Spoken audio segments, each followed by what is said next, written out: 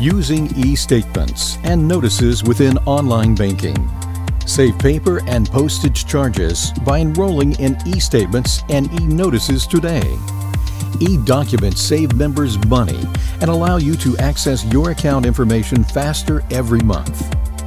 When a member enrolls in e-statements, the monthly $1 fee is waived from your account. These electronic files contain the same information as a traditional statement, and they are posted to your account much quicker than waiting for an envelope to reach your residence. Here are the steps to enroll.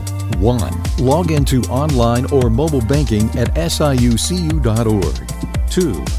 Select More from the menu at the top right on a desktop computer or from the bottom rail on a mobile device. 3. Select e-Documents. 4. Choose the account you wish to enroll. 5. Read the terms and conditions and agree to them. After this is confirmed, you now have full access to these documents. From the e-document section, you're now able to see your prior statements at your convenience, and these can be downloaded and printed if necessary whenever you need them. Members will also now have access to any notices that come from SIU Credit Union as well.